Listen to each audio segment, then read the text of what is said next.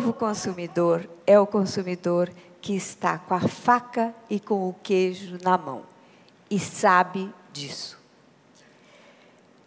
A década de 70 e 80, 80 foi quando eu tive essa grande confecção nacional. Quem mandava no mercado era a indústria e o comércio. Nós é que dizíamos o que, que ia ser a moda, o que, que nós íamos fazer, quando íamos entregar, quanto nós íamos cobrar. Nós fazíamos a informação de moda e fornecíamos o produto ao preço que nós achávamos que deveria ser. A década de 90 acabou com este reinado. Da década de 90 em diante, o domínio foi do consumidor fenômeno decorrente da globalização e da informática, quando a internet passou a fazer parte da vida do mundo. E como é o perfil deste consumidor? De moda. Ele é volúvel, infiel, mimado, exigente e totalmente informatizado está no controle da situação com seu acesso às informações, através das redes sociais e dos sites, o que lhes dá parâmetros de preço, imediata informação de tendências, noções de qualidade e escolha de modos de compra, seja ao vivo ou na loja da sua cidade, seja pela internet, no horário que ele quiser escolhendo produtos nacionais ou de qualquer canto do mundo. Com isso, esse consumidor passou a ter acesso a lojas que ele só conheceria se ele estivesse visitando determinadas lojas ou determinadas cidades. É curioso que quando eu comecei a fazer palestras, depois que eu lancei o primeiro livro, as pessoas me perguntavam muito, mas o que está na moda nos grandes centros? Nós estamos longe do centro acabou os grandes centros. O centro é cada uma das pessoas que está diante da internet. Ele é o centro. Não existe mais a tendência num grande centro e o consumidor no outro lugar. Então, hoje, ele liquidou com esse conceito dos grandes centros. Sem falar na facilidade que ele tem hoje de se locomover e viajar e comprar o que quiser fora do país também. Nunca o mundo teve tanta facilidade de viagem como tem hoje. A segunda coisa, além de ele ser mimado desse jeito, ele é pulverizado. Vamos dizer assim, no máximo que eu posso dizer é que ele é pulverizado, até tribalizado. Para dizer a verdade, ele é quase que individualizado. E essa fragmentação veio com a globalização, que fez com que a pirâmide da moda virasse de cabeça para baixo. A pirâmide da moda sempre funcionou mais ou menos assim. Né? A pirâmide, em cima, classe A, alta costura, no meio, preta-porter e embaixo a rua. O preta, o, o, a alta costura lançava as ideias, a moda, aquilo depois passava para o preta-porter e depois chegava na rua. Hoje, essa pirâmide está invertida. É a rua quem influencia o preta-porter e a alta costura. Por isso a moda é múltipla, porque a rua é múltipla, é feita de todo tipo de gente. Então, acabou uma informação só. Hoje nós temos todas as informações ao mesmo tempo. Por isso a moda é tão variada, fragmentada. Não há mais uma só maneira de estar na moda, mas muitas. Algumas pessoas ainda não se deram conta do fenômeno da pulverização. Tanto é que costumam nos perguntar, e vocês devem saber disso, mas afinal, o que, que está na moda? Como se tivesse uma só. E eu digo, vamos pegar o exemplo da saia.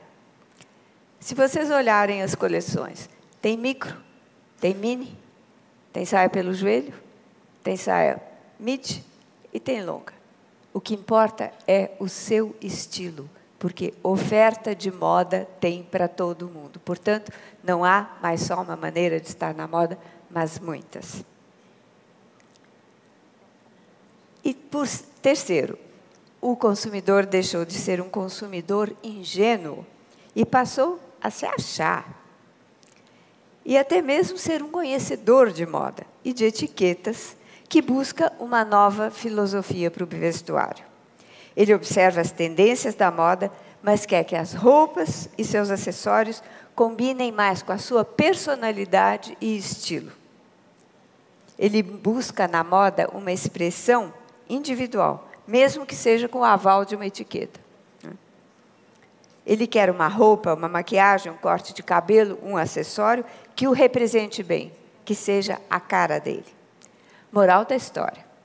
É preciso compreender essa lógica para conviver e aproveitar. Como valor, sim, porque há ganhos com essa pulverização. Há uma abertura para uma nova abordagem comercial. A pluralidade aumenta o mercado, forma novos nichos e aporta novos comportamentos. O panorama nosso de hoje no Brasil tem dificuldades por conta da crise econômica pela qual estamos passando. Ninguém é imune a essa crise. O consumidor classe A está no mundo do luxo, onde a concentração de riqueza lhes deu um poder de compra nunca antes visto. O da classe B, que é a classe média, empobreceu nos últimos anos. E a classe CD, que tinha feito uma tentativa de chegar nesse patamar, se encolheu de novo. Pode-se dizer que boa parte dos consumidores está insegura com seu orçamento e dirigindo gastos para saúde, planos de saúde, educação, escola para filhos, cursos paralelos para atualização profissional, tentando fazer algum tipo de poupança, porém gastando sim em informática, porque ele sabe que tem que estar por dentro desse instrumental para ter alguma participação no mercado. O resultado é que o consumidor está diferente hoje, o que vai exigir mudanças por parte da comunicação que se faça para ele da indústria e do varejo. Algumas palavrinhas sobre a indústria. A indústria é o elo mais sofrido dessa cadeia. A competição é feroz. Os mercados ficaram em polvorosa depois da entrada da China no mercado como player. Nós temos no Brasil uma carga trabalhista e alfandegária obsoleta, obsoleta. Temos uma carga fiscal impossível e temos o problema do câmbio. Temos um mercado interno reduzido por conta da nossa péssima situação econômica e não temos participação importante no mercado externo. Ou seja, temos muito poucas marcas brasileiras que conseguem exportar e ter alguma importância fora do Brasil. Como se não bastasse, a indústria está sendo atropelada no campo da produção, com o fast fashion e o sinal buy now, duas modalidades aceleradoras e que nós corremos aqui para imitar e não perder o barco, já que temos o nosso consumidor exigindo a mesma velocidade e a mesma variedade das mercadorias que ele vê fora. Foi uma revolução na produção. As pessoas pensam que o, que o fast fashion é um tipo de moda? Não, é um tipo de produção de moda diferente, que é contínua e que não para e que não é mais por estação. É praticamente que as lojas semanalmente têm que estar com coisas novas. E isso exige da indústria um esforço extraordinário. O resultado é que houve e está havendo na indústria um avanço, ainda que obrigatório, no sentido de fazer um produto adequado a essas demandas. Mas a sobrevivência da nossa indústria depende de um grande esforço, foco e atenção dos seus participantes. E aí o varejo. O comércio tradicional está sendo mais lento a entender essa movimentação toda e demorando mais a dar respostas adequadas ao novo ritmo. Por isso vocês vão ver o que é uma resposta rápida ao ouvirem a Tassiana falar e a Júlia também. A Tassiana vai falar do que é uma indústria e um comércio que respondem rapidamente a isso. Mas o comércio tradicional no Brasil ainda está respondendo lentamente a essas mudanças todas que nós estamos mencionando. Ele ainda não entendeu que o mercado é tribalizado, pulverizado, e como nós vimos, os consumidores, mais do que nunca, estão divididos por diferentes estilos de vida e interesses.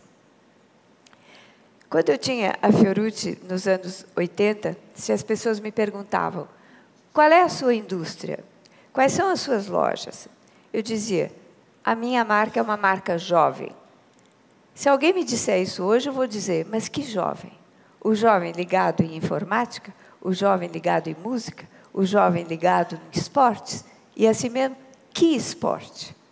Então, hoje, o foco tem que ser absolutamente nítido na produção da moda e na comercialização da moda, em cima de um conjunto que dê identidade para o produto e, consequentemente, atingir esse consumidor. E a segunda coisa que o varejo tem que prestar atenção, e que não acho que esteja prestando tanto, é a questão do foco. Saber que varejo é serviço. Nós deixamos de ser uma sociedade industrial para ser uma sociedade de serviços e informação. Logo, quanto mais refinados forem os serviços, mais valor você estará agregando ao seu negócio. O que se fazer, o que fazer para se fazer lembrar? Como enfrentar a entrada de marcas estrangeiras e hoje até de cadeias inteiras de lojas estrangeiras? Com treinamento de pessoal, especialização e o bom uso da informática. Que providências os comerciantes estão tomando para se sobressair em serviços para os seus clientes? Nós vimos o quanto as pessoas estão confusas hoje diante da massa de informação que recebem. Será que nas lojas os vendedores são capazes de serem consultores de modo e ajudarem a pessoa a fazerem uma compra? Será que eles sabem dar uma assessoria de moda? E quanto à informatização? Que é há um espaço enorme para crescer nesta área. Organizações que tenham bom mailing list, criação de e-commerce adequado ao seu produto, com serviços de atendimento rápido, ágil e de fácil uso, tanto na venda, na entrega, como na pós-venda. Quem tiver um bom serviço para oferecer nesta área aos comerciantes vai se dar muito bem. A conclusão. Vamos terminar com uma boa notícia. As pessoas gostam de comprar. E no Brasil, consumir é considerado lazer. Sempre que nas pesquisas se põe consumo, vai para a área do lazer. Seja ao vivo, seja pela internet. Eu estou falando aqui para uma plateia que tem nas mãos o instrumento mais moderno de comunicação e vendas que já existiu. E conhecendo bem o consumidor, os nichos deles, suas necessidades, hábitos e impulsos, vocês têm diante de si um caminho novo e fascinante de trabalho, de criação e de sucesso. Eu desejo a todos vocês e a todos nós boa sorte nesse percurso. Muito obrigada.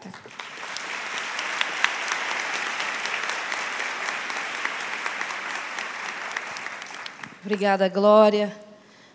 Pessoal, nós vamos abrir para perguntas do público, ok? Dentro do tema. No tá final. Tá bom? No final. Alguém tem, já tem uma pergunta? No final, deixa para o final. Deixa para o final? Ah, você está vendo? Ela vai deixando, deixa para o final. O que, que nós podemos fazer aqui que eu acho que é importante, seguindo a sugestão aqui da Glória? O Baquim também deu uma sugestão que é assim. Doc, eu queria dois tweets, considerando a influência do digital. Você está hoje numa parte de moda, mas tu vem desse negócio de bits e bytes há alguns anos, né? Vocês usam o digital maravilhosamente para vender uma moda linda. Júlia, você nos ajuda a recuperar a autoestima, nos ajuda a ficar mais bonitas, não é isso?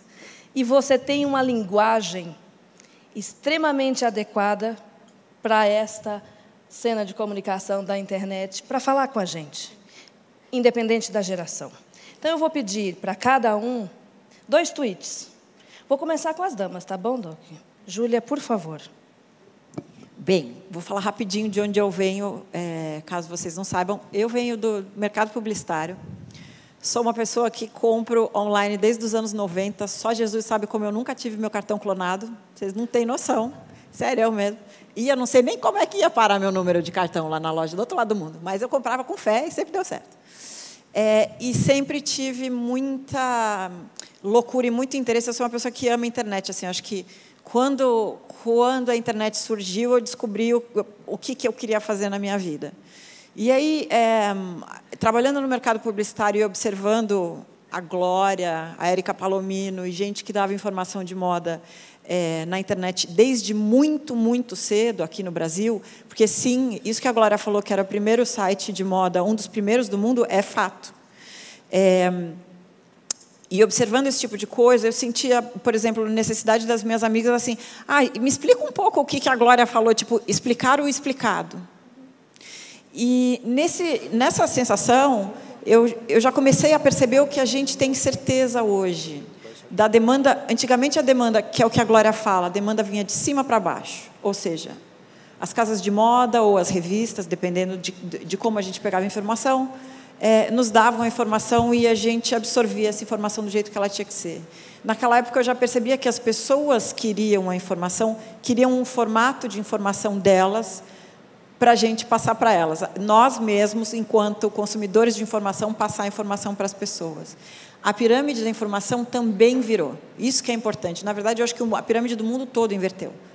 Porque a, o surgimento de pessoas como eu na internet é exatamente isso, ou seja, uma pessoa comum é, que consegue explicar de um jeito comum, que é o que a Viviane estava falando, de um jeito comum, coisas que a gente consegue compreender de um mercado um pouco mais especializado. E foi assim que eu é, acabei achando esse meu caminho no mercado editorial é, digital, com site, com YouTube. E é isso. Eu, eu sou parte da inversão da, da pirâmide. Ela falou tudo. Obrigada, Júlia. Tassiana, por favor. É, um tweet é difícil, né? É, eu acho que a gente vive assim um momento de oportunidades incríveis na comunicação. Essa inversão da pirâmide ela tornou o cenário de comunicação altamente complexo.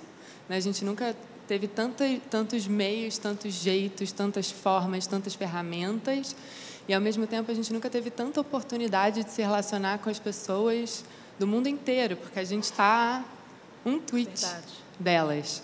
E eu acho que o que a gente não pode perder nesse nesse cenário, uma coisa que a Farm traz para mim muito forte é a relação humana, sabe? A gente está por trás de aplicativos, por trás de sites, por trás de um monte de tecnologia. A gente está na nuvem, a gente está no algoritmo, mas a gente Somos humanos falando com outros seres humanos. E aí eu acho que o que faz a diferença para mim é o carinho.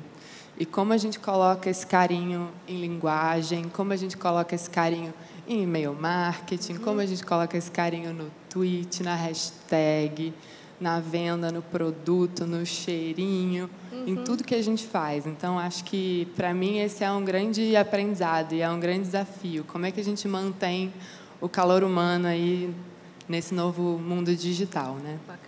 Identidade, né? Identidade, né? O Gustavo está falando aqui. Pode abrir aqui, tá? Eu fico Eu falando por ele. mas é isso, é identidade, né? É achar essa identidade e, e seguir ela. Doc, tu tá um privilegiado hoje, hein? Tô tremenda. o Glória Calil de um lado, Júlia Petit do outro e eu de homem. Eu manjo muito de moda, né? é... Não, eu acho que a, a, nossa parte de e-commerce, o jeito que a Shoulder pensa em tudo isso, é, é uma palavra que a gente fala muito lá dentro, é democratização. É dar oportunidade para a mulher que mora longe de São Paulo, principalmente, Sim. Poder consumir um produto sem pagar um frete muito caro. Então, a gente tem a parte de tecnologia, como fazer isso, e a gente encontra muita dificuldade, porque o governo não ajuda muito, a questão do CNPJ, então está comprando na internet, na verdade deveria ser aqui. Mas não faz sentido se você tem. O shoulder, a gente está falando de 70 lojas, né? Uhum. Então é muita, muita loja. Então normalmente a gente acaba pegando todo o Brasil. Não faz sentido o produto ter de sair de São Paulo e ela ter de pagar esse frete. Era muito mais simples se ela está no Ceará, o produto sair de lá, se ela está em Alagoas, o produto sair de lá. Isso é democratização, isso acaba fazendo com que ela também possa consumir muitas das coisas que ela vê por aqui. É, e eu, eu acho que a outra parte que a gente tem muito em questão de entender a moda, a gente comenta muito lá dentro, é do mesmo jeito que o, o, o Facebook está para o mundo, a gente vê o Instagram para a moda. E a gente percebe aquilo que a gente coloca, vamos lá, a gente é ready to wear, né? A gente, uhum. a shoulder está no final dessa, dessa, dessa escala, né? É, mas a gente consegue perceber muitas coisas que a gente faz do jeito que a consumidora o jeito que ela entende isso. Né? Uhum. A gente muitas vezes pensa que vai fazer uma linha e ela é vista de uma forma, ela é vista de uma outra forma. Então, é, eu sempre falo a dificuldade para a gente veio do e-commerce, né? Eu vendia antigamente celular, computador. Era muito mais fácil que você tem produtos que estão lá sempre. Quando você fala de moda, a gente tem 80 produtos chegando a cada 20 dias e nunca mais volta esse produto. Então, todo todo conhecimento, todo, né, a gente estava falando sobre Big Data, tudo que você tem de inteligência lá, muito bom, parabéns. Você não vai mais, nunca mais usar porque essa peça nunca mais vai voltar. Então você pega um conhecimento e tenta de alguma forma traduzir uhum. ele e utilizar de outra forma para essa consumidora ficar cada vez mais feliz. Bacana, bacana. Obrigada, Doc. Pergunta, pessoal. Vou intercalar aqui. Fica, fica de pé, por gentileza. Como o auditório está bem cheio, aí fica mais fácil. Dentro do tema, por gentileza. É, boa tarde, me chamo Pedro, trabalho no Grupo Boticário. Falando um pouco sobre comunicação e moda hoje, a gente vê que grande parte dos processos de comunicação estão amarrados com a produção de conteúdo. É um conteúdo que vem de blogueiras e blogueiros. É, Godfrey, quando era editor de moda do Le Monde, em 2014, fez uma afirmação de que blogueiras não têm conteúdo, não têm cultura de moda. Foi uma grande polêmica daquele ano, várias blogueiras posicionaram, vários veículos. E eu queria ouvir de vocês, de quatro viés diferentes do mercado da moda, como vocês avaliam o conteúdo que é produzido hoje por esses profissionais, que a gente depende desse conteúdo hoje em dia, principalmente na área de e-commerce. Eu queria ouvir um pouco de vocês sobre isso. Aí, Tassiana, fala, fala você que tem. Tassiana e Doc, por favor. Olha, eu acho que a gente vive um, um cenário onde todo mundo produz conteúdo, né? E o que a busca que a gente faz na Farm, ela, ela começa por uma busca, inclusive, interna, porque a gente gosta de produzir muito o nosso próprio conteúdo, mas a gente gosta também de aprender com outros pontos de vista. E a gente não tem uma relação assim é, comercial grande, um histórico muito grande com blogueiros de moda. A gente sempre teve o nosso próprio blog, a gente lançou esse blog em 2009, antes até do site. E aí o site, inclusive, pegou uma carona incrível no blog, porque o blog e o conteúdo vieram antes, e a gente tem um ponto de vista muito de produto e conteúdo amarrados sempre, Perfeito. sabe? Então, hoje quando a gente pensa nesse cenário complexo de comunicação e como o conteúdo e o produto eles estão juntos, a gente uma hora eu estou ouvindo música e a, e a Farm vai estar tá ali como um estímulo sonoro. Outra hora eu estou querendo me inspirar no Instagram e a Farm vai estar ali, mas vão estar ali também milhares de meninas que usam Farm. Eu acho que talvez uma das coisas que eu mais curta de fazer assim exercício diário na Farm é olhar a quantidade de meninas e meninos e mulheres e homens em todos os lugares do país que postam com a hashtag Tonadoro Farm. E volta e meia vem alguém assim, é, uma blogueira, vem outro dia o Pablo Vittar fez um post, a gente não acreditou, teve uma, né, um frisson lá, lá no escritório, as meninas do marketing, assim, caramba, ele está usando, ele postou, que legal. Mas é muito uma relação, assim, a gente, a gente quer acreditar tanto no que a gente faz, que a gente quer que isso vá para as pessoas de uma maneira genuína. A gente não acredita tanto nesse modelo de public post ou de transformar essa relação de conteúdo que a gente acha que tem que ser legítima em cima de um produto que a gente cria com tanto carinho numa relação comercial, sabe? A gente Óbvio, a gente faz algumas ações de seeding para pessoas que a gente acha legais. A gente tem feito muito uma trabalhado plataformas de festivais. A gente gosta de estar nos festivais de música, entendendo o que as pessoas estão usando, podendo trazer roupa para elas. Mas para a gente é um exercício de, de entender, inclusive, a legitimidade do nosso produto e como é que ele se encaixa ali naturalmente, não forçar essa relação. Então, eu, eu até te peço desculpas, assim, porque eu não tenho base para te dar a sua resposta, porque não é uma relação do nosso dia a dia. A gente tem um outro ponto de vista, a gente segue e tem seguido por ele. Ah, a gente a gente fala que a shoulder ela é para uma mulher de 30 anos que está na correria do dia a dia e a nossa missão lá é traduzir e simplificar a moda para ela. E quando a gente fala em traduzir e simplificar, a gente acredita que ela não vai ter muito tempo de chegar no Facebook ou no Twitter ou no Instagram e fazer um live, fazer alguma coisa desse tipo. É totalmente diferente quando a gente fala de uma outra marca do grupo, que é a Pop-Up Store. Que daí já vem com né, o histórico da Fabiana Justus, onde ela usa pra caramba o Instagram, e daí sim você tem um pouco de conteúdo. Então, são marcas diferentes. No caso de Shoulder, acontece muito essa comunicação de conteúdo, é engraçado, ela acontece na loja para mim é, é uma surpresa muito grande, mas acontece na loja com a vendedora que ela já conhece, que ela está comprando lá há mais de oito anos, dez anos com a mesma vendedora, e a gente ouve muito isso. A gente fala lá que a gente somos ótimos ouvintes. A gente gosta muito de ouvir o que ela está falando, e em cima disso a gente acaba criando alguma coisa. A gente não tem um blog, mas a gente no momento que vai criar toda a parte de lookbook, toda, né, toda essa parte, é, a Shoulder olha muito. E já é completamente diferente quando a gente fala de pop-up store, que é uma loja para uma mulher de 20, 25 anos, mega antenada em moda, mega antenado em live de Instagram, em, em live de Face, e ela vê de outra forma. Então, daí sim, existe algumas blogueiras que tem uma parte de fazer conteúdo junto com a Fabiana, entender o que ela está pensando, como ela está colocando, e ter esse DNA que é muito forte de pop-up store. Espero ter ajudado. Obrigada. Ok, pode, por favor.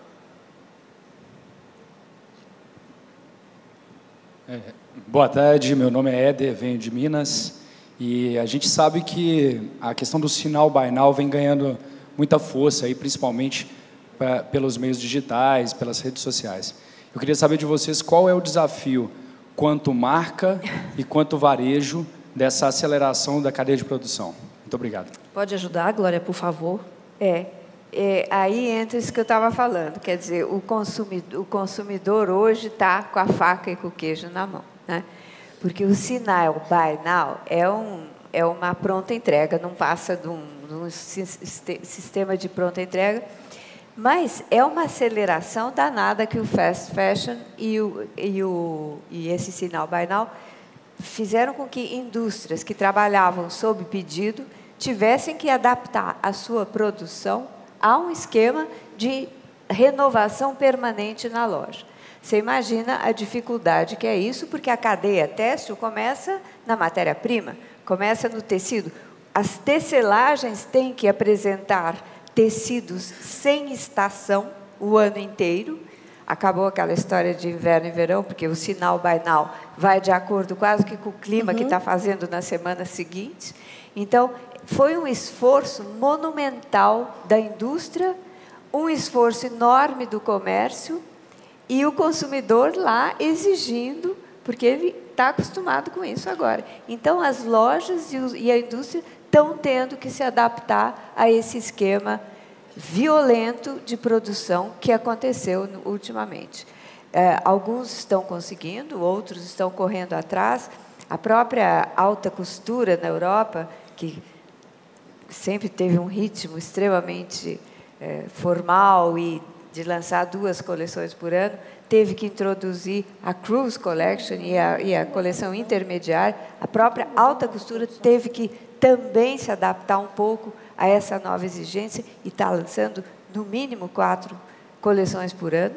Então, é um esquema de produção, como eu digo, o, o fast fashion e, e, o esquema de, de sinal by now é uma forma de produção industrial e de comercialização que foi feita para que as marcas se aproximassem mais do seu consumidor. E é um esforço enorme que está sendo feito e é o nível de exigência que se tem hoje. Ô, Glória, e isso que você está dizendo da cadeia, eu vou chegar em você, Júlia, da, da beleza. Pulando aqui. Estou assim. pulando, né? É, é uma, uma. Isso que você está falando, que vai lá na raiz, eu estou aqui comentando com o Gustavo. O Brasil é um dos maiores produtores de soja do mundo. E agora a Glória falando aqui, eu estou aqui perguntando qual é a produção de algodão que nós temos, né, porque depende da safra, né, do período, para suportar isso daí. Posso falar uma Pode, coisa? Pode, por favor. Tem um problema extra que eu não falei e que você sabe muito bem, você sabe muito bem. Nós praticamente que no Brasil nós não temos mais matéria-prima. Acabou nós não temos mais tecelagens, nós não temos mais praticamente que matéria-prima. Toda matéria-prima, quase toda matéria-prima de quase todas as confecções é importada. Nossa Deus. É. Nós temos uma produção mínima hoje uh, e, e foram duas, dois os grandes causadores dessa situação. Primeiro foi o Collor, quando ele abriu a importação de um dia para outro. Quer dizer, é óbvio que tinha que se abrir, porque não existe um país fechado hoje em dia, mas tinha que ter sido feito com um projeto. Verdade. Chegar para o setor e dizer: ó, nós vamos abrir, daqui a um ano vocês vão deixar de ser é, protegidos, está aqui dinheiro para vocês, é, linhas de financiamento para que as indústrias se reequipassem, porque eram indústrias antiquadas, não é? Não foi feito isso, foi feito de um dia para outro. Abriu. O que, que aconteceu? É igual você ter um bebezinho no colo e, de repente, joga na rua e fala, vai se virar. Foi o que aconteceu. A indústria nacional quebrou gigantescamente naquela ocasião. Não, se, eh, não houve uma reposição da indústria têxtil. E depois, eh, com a, a abertura para as marcas e a entrada da China, e, e, e todo mundo começou a comprar as, uh, tecido estrangeiro, de modo que vocês sabem que hoje em dia, além de tudo, depende-se de importação para matéria-prima. Quer dizer, é um problema extra que a indústria tem.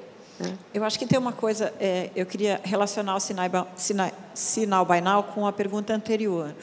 Eu acho que não é porque as coisas se mostram como uma tendência que elas servem para todo mundo.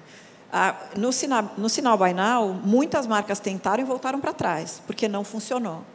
Então, a gente tem que tentar compreender a velocidade das coisas e se funciona para aquela marca, porque não necessariamente funciona. E, hum. e, já tem uma tendência enorme do slow fashion, ou seja, de então tá, então eu faço poucas coleções por ano, poucas roupas, é, marcas que estão fazendo pouquíssimos modelos, mantendo uma coleção igual todos os anos que muda apenas cores, coisas mais clássicas como antigamente. Então, assim, essa pulverização que, que a Glória estava falando, de tudo, é disso também. Então, não, não existe essa, esse tipo de verdade, assim, agora é o sinal by now, agora precisa ter blogueiros para vender a sua roupa, senão não vai vender. Não é fato, porque você não sabe se você vai precisar. Ele estava explicando isso, da, a diferença da shoulder para pop-up. A, a, a Farm é um caso desses de comunidade, na verdade. Né? A, a, como eu posso falar? A comunidade e a cultura da marca veio antes da promoção pelo produto. Então, a verdade deles é completamente o oposto. É o que uma marca tenta fazer depois, na verdade. Criar um relacionamento sobre aquelas roupas. Eles tinham isso ao contrário, né? Então, assim, nem tudo é verdade. Isso é muito importante, porque na quantidade de informação é, que a gente, que uma pessoa como eu passa e que as pessoas recebem, a gente recebe é, slogans Sinal, sinal blogueiros, Instagram, é, sei lá mais o quê. Tem que ter cruise collection, isso, essa, essas coisas. E não é verdade e não funciona para todo mundo. É muito importante analisar a personalidade e, e o que cada marca quer é, no, dentro do mercado. Né? Eu acho importante isso. Mas eu acho que, como modelo, tem um desafio aí enorme por trás do fast fashion, que, assim, é sustentável?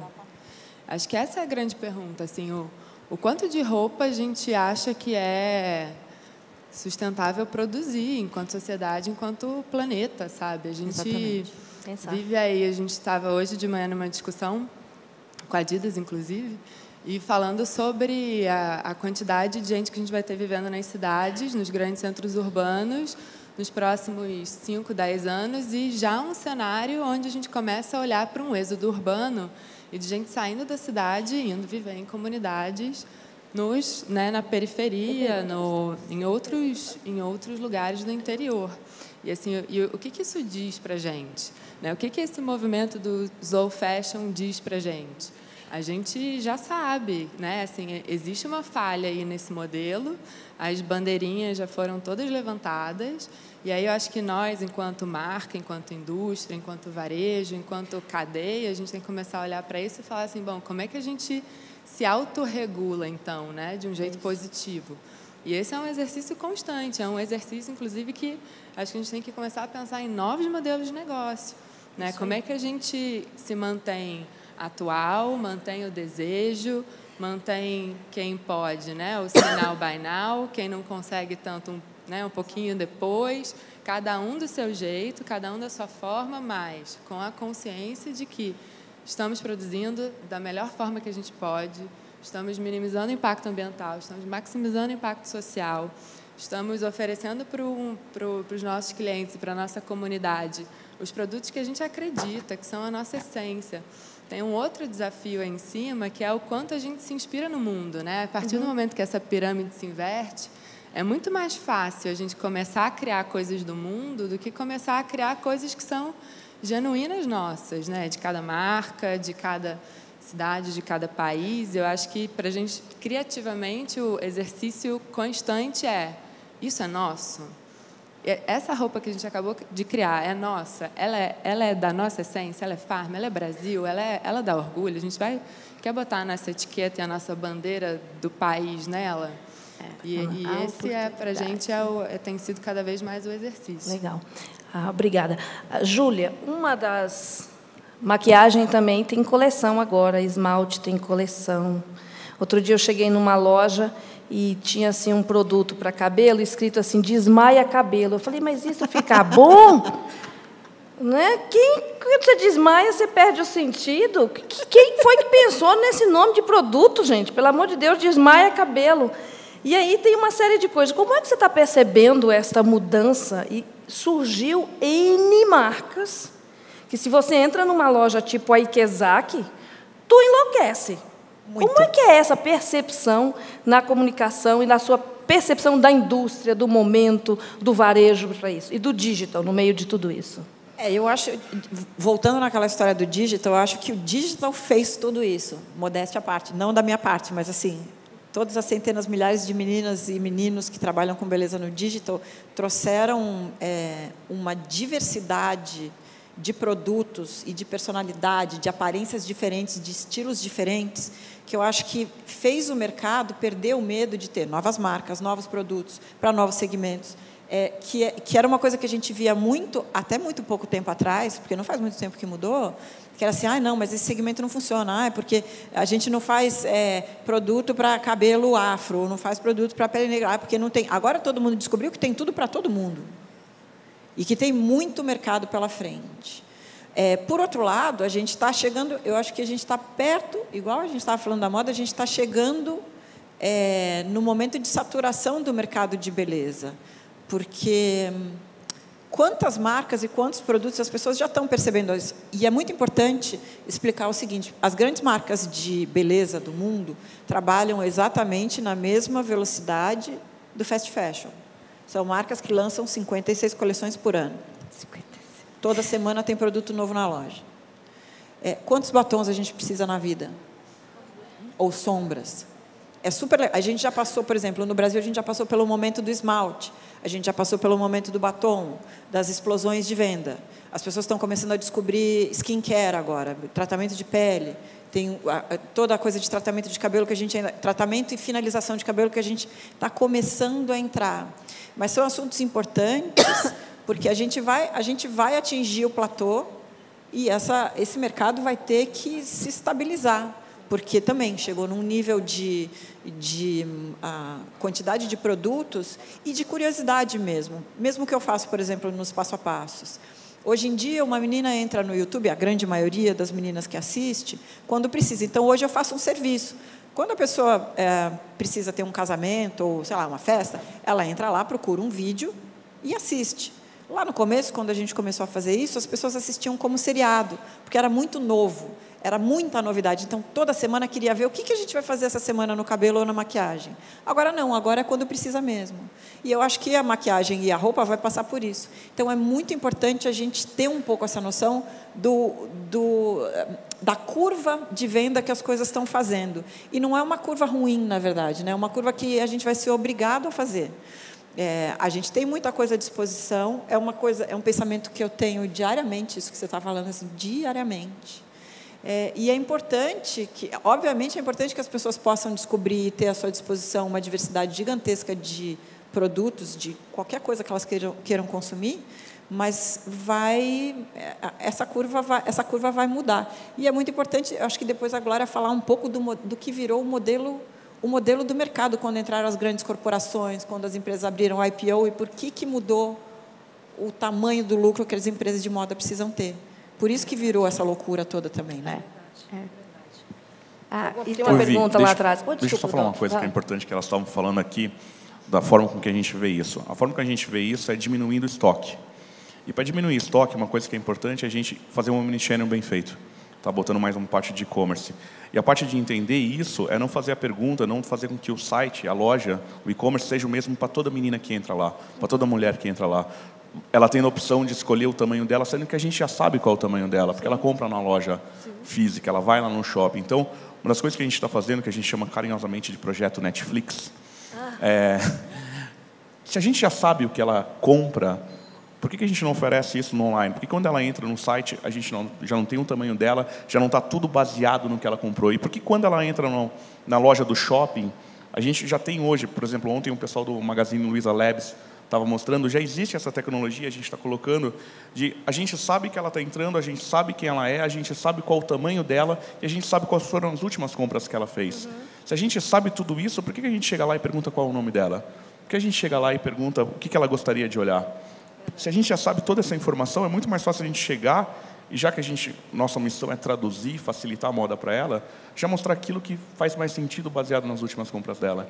Então, quando você consegue fazer isso, entregar isso tanto nas 70 lojas é, que tem em shopping, mas também principalmente no online, você consegue diminuir estoque. Se você diminui estoque, você tem muito matéria-prima, muito menos matéria-prima, e você tem, né, não sobra aquele monte que você tem que tirar a etiqueta, acabar mandando para algum lugar. Eu acho que essa parte da tecnologia pode ajudar muito a moda a ficar muito mais, sabe, é, não tão canibalista. Né? Verdade. Pergunta lá do público, por favor. Viviane, é, eu sou o Zé Wolfried, lá da Partiu.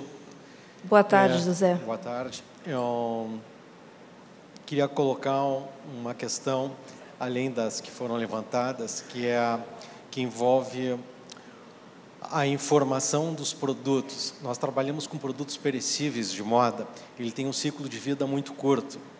Além do problema da industrialização, da fabricação, é, nós temos uma dificuldade muito grande de cadastrar os produtos e colocar eles fundamentalmente nos marketplaces. Né? Como é, a, a, até subirem os produtos nos marketplaces ou terem o acesso e a disponibilidade desses produtos ao consumidor final, muitas vezes os produtos já saíram de linha. Então, além das questões que foram levantadas, nós, lojistas online, temos esse problema que é muito grave. Né? Não sei se eu me fiz entender. Hoje, para se cadastrar os produtos e tornar eles acessíveis ao consumidor final, não, não, não conseguimos a velocidade necessária uh, em relação ao ciclo de vida dos produtos. Sim. Esse é um problema gravíssimo que nós estamos enfrentando como, como lojistas online. É. Segmento de moda. Isso é operação Isso é tecnologia você, pura. É. Isso é com você. É, operação em tecnologia pura. Vou, vou confessar a você, José, por exemplo. É, eu compro muita moda online. Tem uma peça que eu não compro online, de nenhum lugar. Porque nenhuma loja tem isso na descrição do produto. Blusa. Vocês colocam o tamanho da manga só e a largura do braço. Então, muitas vezes eu tenho o tamanho, mas eu não sei a largura, porque eu sou plus size. Então, eu nunca compro blusa online de ninguém. E aí eu acabo indo na loja porque não tem. Então, assim, na hora de subir o produto, eu já estou medindo a peça, por exemplo. Faz mais uma, por gentileza, vocês aí de moda. Mede a largura do braço. Né? Fica bem melhor para poder vender, vocês vão ter menos reversa por causa da manga das roupas. A gente precisa pensar nisso. Doc, como é que você faz isso lá na Show e vocês fazem isso lá na Farm? Não dá não tempo, faz. né? Não, é, é assim. a gente tenta fazer o melhor, né? É, eu acho que você tocou um, um ponto importante aí. Você falou uma palavra marketplace eu não deveria falar isso, mas eu vou falar minha opinião sobre marketplace. Me preocupa muito você vender o seu produto em outro lugar perdendo 30% de margem. É, é, muito. Eu entendo a parte deles, mas perder 30% de margem machuca todo outro lado. E se você machuca todo outro lado, você tem de tomar cuidado como é que essas empresas que estão aceitando perder 30% de margem estão fazendo a sua moda. É, eu acho que a gente tem histórico muito negativo né, na moda de não pagar direito, então você tem que tomar cuidado quando alguém está tomando 30% prometendo que vai vender o seu produto. Em termos de descrição de produto, faça o mais rápido possível, coloque, assim, pensando no SEO da melhor forma possível, mas, cara, é, é muito rápido. Então, eu acho que eu, eu pensaria em gastar mais tempo naqueles produtos que você sabe que vai vender bastante, ao invés de tentar fazer tudo. Faz sentido. Espero mais ter ajudado. uma pergunta? Ah, sim. Oi? Aqui, ok. Oi. É sobre o que a Glória falou. Qual o seu nome? É Sandra. Desculpa, qual o seu nome? Sandra. Oi, Sandra. Você é de qual estado? Rio Grande do Sul. Ah, seja bem-vinda. Só para poder dizer ah, para vocês aqui do palco, nós temos 22 estados ah, do Brasil participando aqui do evento. Ok, Sandra, obrigada. Então, querida. sobre o que a Glória falou, que quando o Collor abriu o mercado internacional, nós da moda permitimos o que aconteceu, porque o, setor da indústria calçadista, até hoje, ela ainda mantém fechado o mercado chinês. Por quê? Porque eles tinham junto a Brasília lobby, o que nós todos aqui ninguém faz. Nós da indústria da moda, nós estamos se matando um com o outro.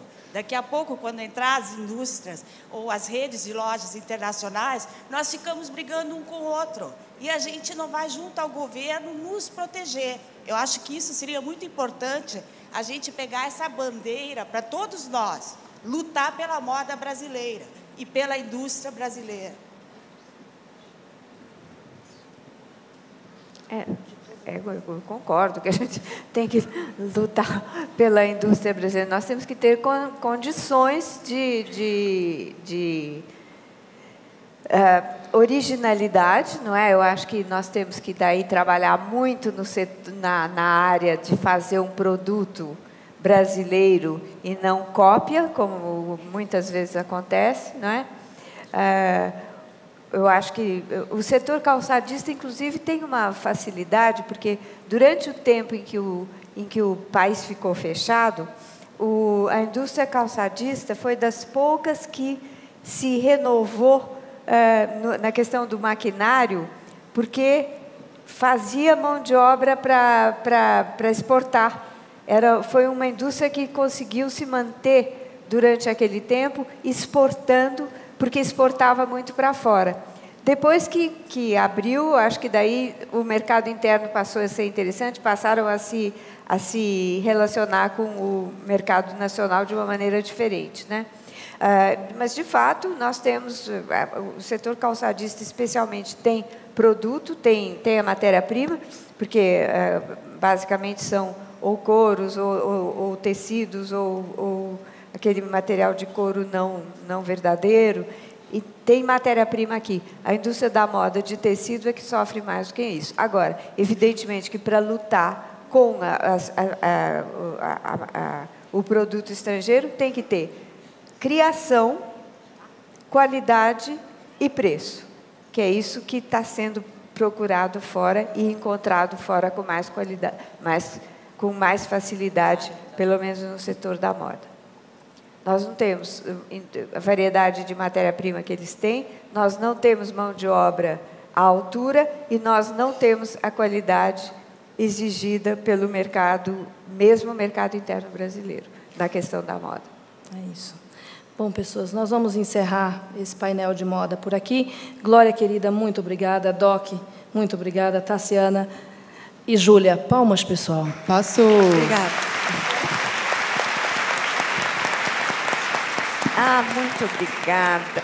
Vou aproveitar rapidinho que eu estou aqui para contar para vocês de um projeto digi- 100% digital que a gente acabou de lançar, que é muito querido e vou adorar saber a opinião de vocês depois. A gente transformou a Rádio Farm, que é o nosso selo de curadoria musical, em gravadora e a gente acabou de lançar a nossa primeira banda.